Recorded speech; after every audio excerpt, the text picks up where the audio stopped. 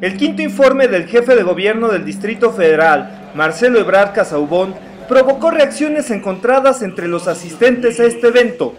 Naturalmente, los allegados a su partido aplaudieron y vitorearon el acto. ¿Qué le pareció el informe?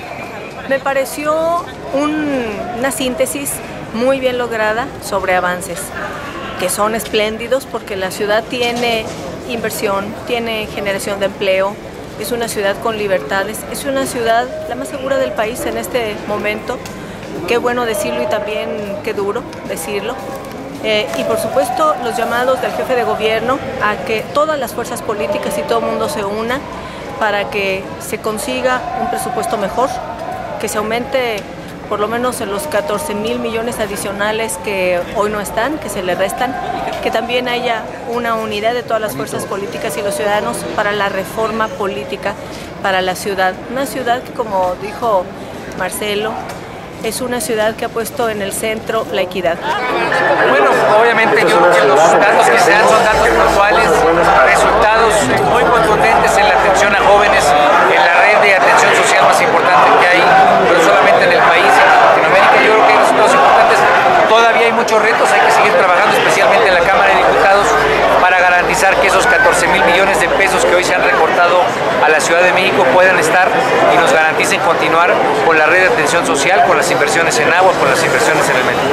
Pues es un informe es un informe que da cifras contundentes de lo que ha pasado en la ciudad.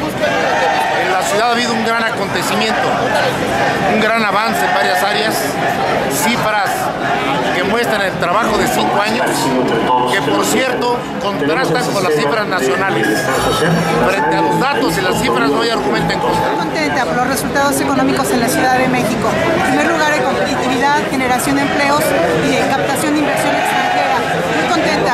Creo que la Ciudad de México se ha puesto a la vanguardia en la ciudad, que tenemos la oportunidad de expresarnos, de encontrarnos en paz. Creo que es lo destacable de toda la política social que se ha venido realizando en el Distrito Federal sin duda una perspectiva de crecimiento del jefe de gobierno clara, sólida, fuerte y con una perspectiva.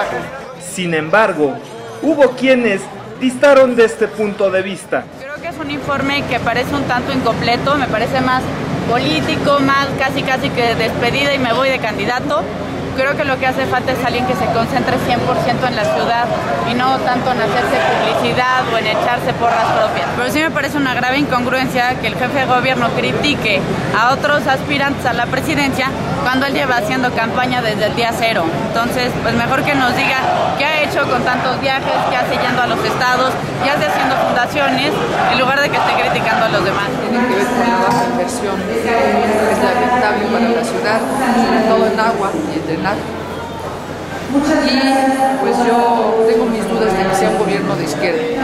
Pues yo creo que el PRI muy pronto puede regresar a gobernar la ciudad.